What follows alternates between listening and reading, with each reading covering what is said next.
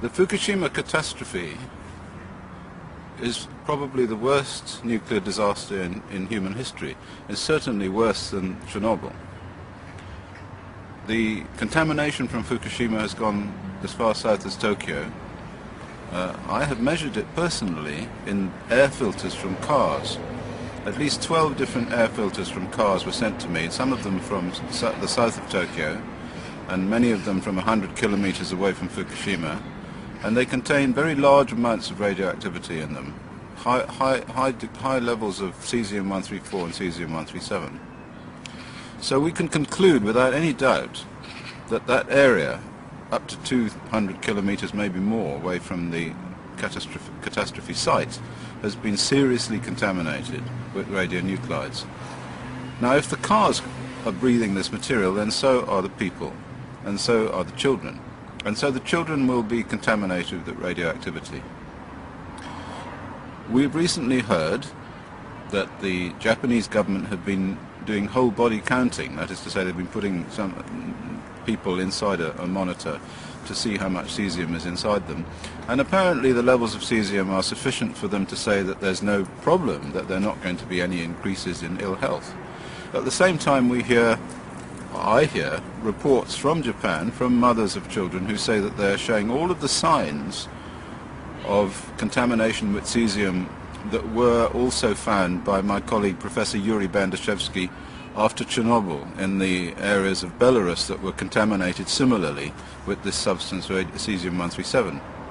what it did there was that it went into the heart muscle and it caused conduction difficulties and destroyed heart, heart muscle. So the children in, in uh, in Belarus were suffering heart attacks and arrhythmias. That's when the heart doesn't beat properly. And of course later on in life they die young from heart disease because the heart cells don't replicate themselves. The heart cells, you get all of your heart cells at once. You get maybe 1% uh, increase in heart cells per year. But over the period of time we're talking about, there's going to be no replacement for the cells that were damaged by the Fukushima catastrophe in the children.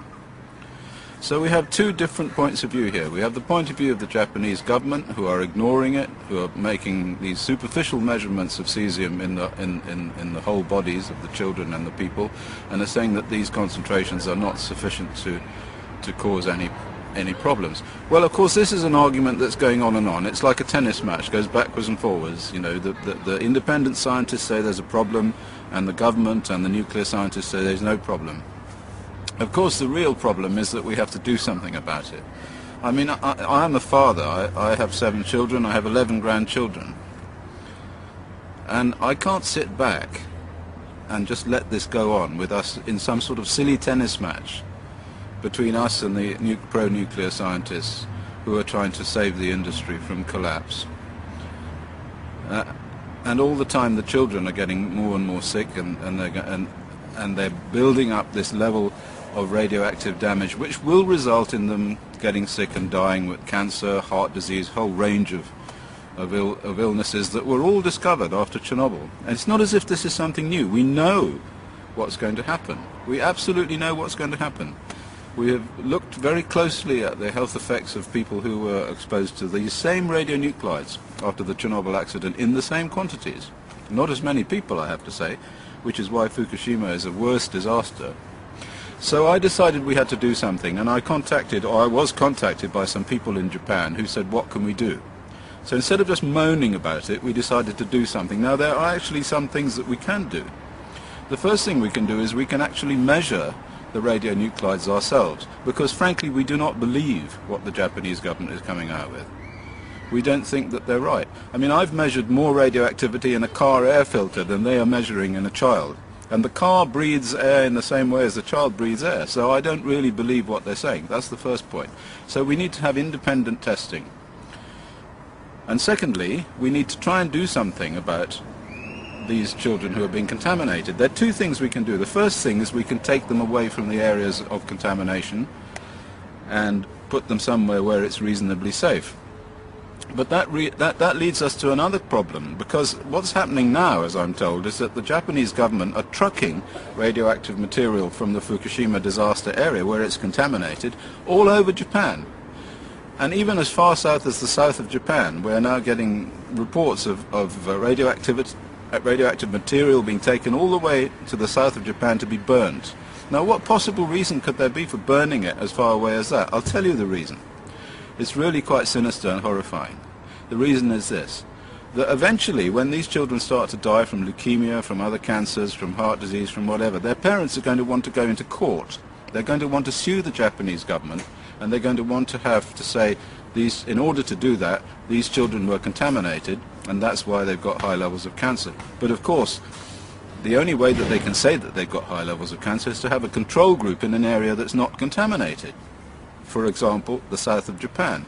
So I believe that the project to take this material and burn it all over Japan is to destroy all of Japan, is to increase the, the, the cancer rate in the whole of Japan so that there will be no control group to which you can compare these children in the Fukushima area. So that's that point. So we want to take the children away anyway into some safe area. That's, that's, the, that, that's what we want to do. But the second thing that we can do, and this is also quite important, is we can try and block the material. We can try and block the absorption of the cesium and the absorption of the strontium-90 and the plutonium and the other substances that are not being measured, incidentally. We have to wait a minute now because there's a train passing. I'm sitting on a children's playground here in um, Sweden. This is in Stockholm. And I decided to talk to you from here, from Stockholm, where there is a significant amount of radioactivity as well, I have to say, in the, in the Baltic Sea. I measured this myself, but that's another question. So the second thing we can do is we can try and block the ingress of the radioactivity into the child's body. Now we know that we can do this with iodine because iodine goes to the thyroid gland. We give stable iodine, or at least we're supposed to. It turns out the Japanese government didn't. Um, and then it stops the bad iodine, the radioactive iodine, from binding to the same sites. And you can do the same thing with the other radionuclides. For uranium and plutonium and strontium-90, which are the most serious, and all of which they're not measuring, incidentally, and none of which can be measured with a whole body counter because they're alpha emitters or beta emitters, we can block their attachment to the DNA by giving large amounts of calcium and magnesium, which binds to the DNA and keeps the, the, the, strontium and the uranium off the DNA. So that's one thing that these children can do. They can take a tablet every day of stable calcium. And so we are going to produce tablets which contain stable calcium, which we, which we will supply cheaply at the cost of production to parents of these children so that they can take these tablets and block the ingress of, of these substances. And we're also working on another tablet which will block the ingress of cesium-137. Now in order to do this, we have set up a, an organization in Japan called the Christopher Busby Foundation for the Children of Fukushima. And it has a website and it's all in Japanese and it's all being done by a colleague of mine who contacted me from Japan called James, called James Grand. Uh, in addition to this, we are going to purchase a large number of highly sophisticated radiation measuring devices uh, from Europe, from suppliers in Europe and, and suppliers in the Ukraine. And we're going to make these um, devices available to the parents of children to measure the concentrations of these substances in the food and also to supermarkets and we will measure the substances ourselves.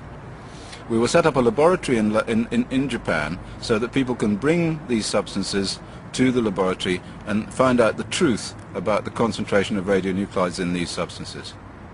So these are the things that we want to do and we want you to help us to do this in any way that you can.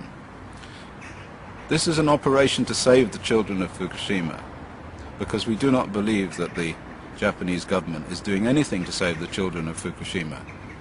They are operating on a principle which is uh, the principle of saving not the children of Fukushima, but the international nuclear industry. And this is disgraceful. Thank you for listening.